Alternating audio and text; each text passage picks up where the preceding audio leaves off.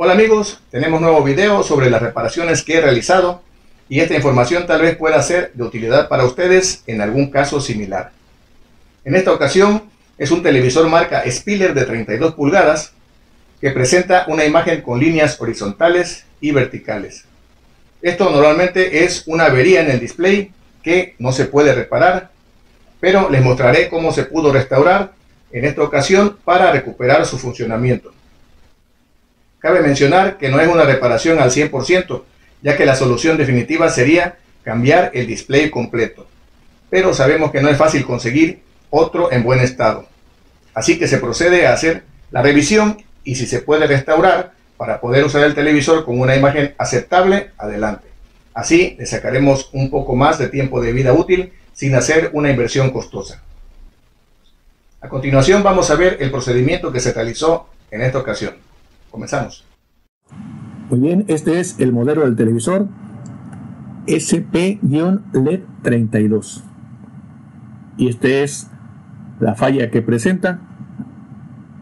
Son líneas horizontales y verticales y en las orillas unas sombras.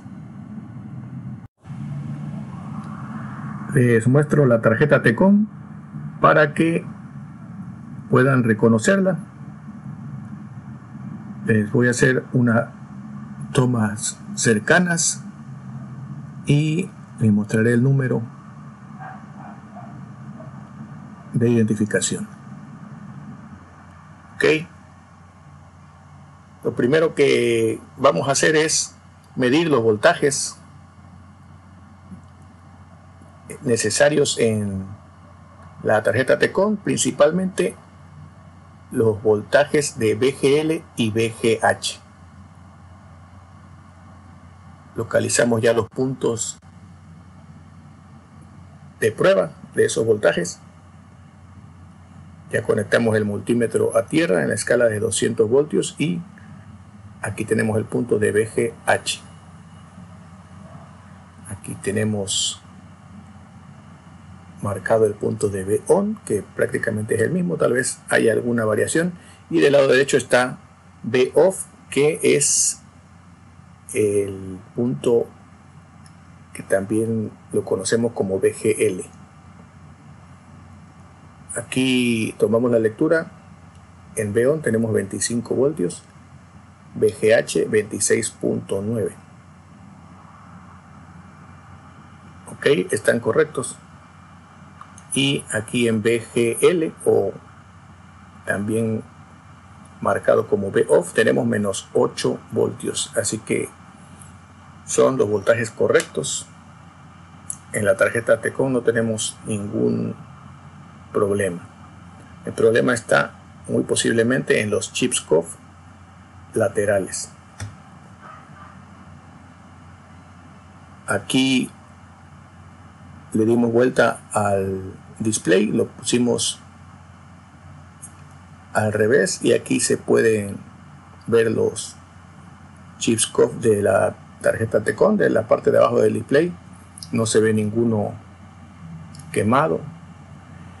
Entonces lo que vamos a hacer es medir los voltajes de los chips COF laterales. Vamos a identificar el número del chip COF. Lo buscamos y localizaremos a dónde son los puntos de prueba. Normalmente estas pistas que van en el interior del display en ocasiones se abren y dejan de conducir el voltaje hacia los chips COF laterales. Esta es la información del chip COF. Vamos a medir el voltaje de VGH y de VGL. Ok, ya tenemos el multímetro colocamos la punta negra a tierra y vamos a proceder a encender el televisor.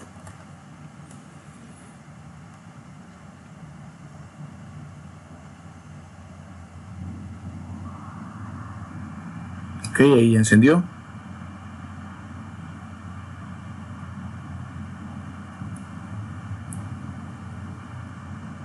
Con mucho cuidado verificamos en los puntos Aquí tenemos en el punto de VGH 26 voltios, que son correctos. Pero en el punto de BGL no tenemos los menos 8 voltios necesarios.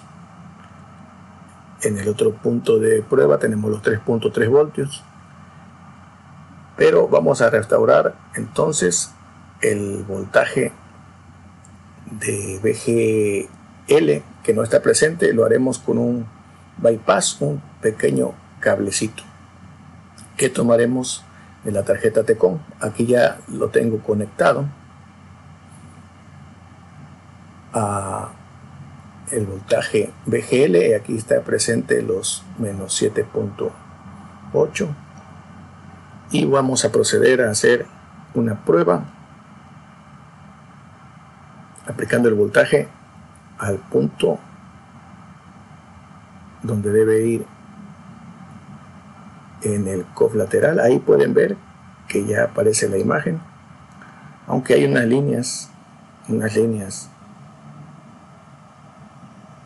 fantasmas, pero ya se restauró el voltaje en ese punto y podemos ver la imagen. Ahora lo que haremos es colocar un cable.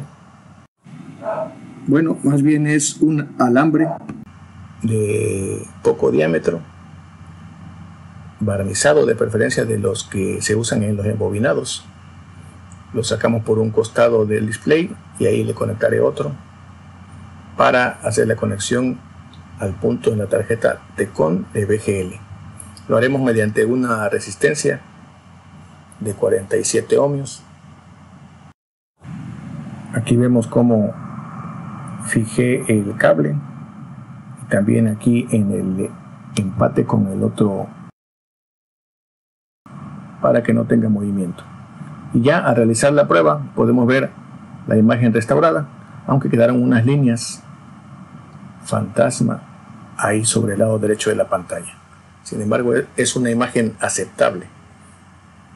Pero la estuve probando un día completo y más tarde volvió a presentar esta falla. Ahora solo se ve unas líneas del lado derecho y la pantalla oscura la apagaré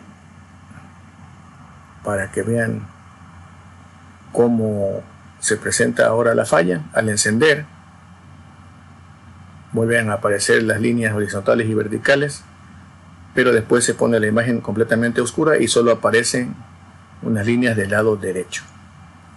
Vamos entonces a proceder a, verificar los voltajes de nuevo y nos dimos cuenta que ahora faltaba el voltaje de BGH y ya no realicé el bypass al mismo COF lateral porque están muy cerca las pistas y se puede dañar. Entonces procedí a hacer la conexión en el COF de arriba se coloca también mediante una resistencia al punto BGH resistencia normalmente la coloco de 47 ohmios pero no tenía así que le coloqué una de 68 ohmios.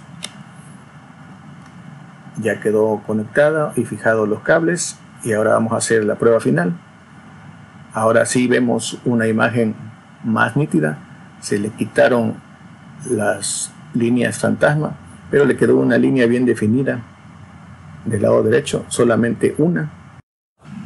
Con este procedimiento recuperamos la funcionalidad del display y tenemos una imagen muy aceptable.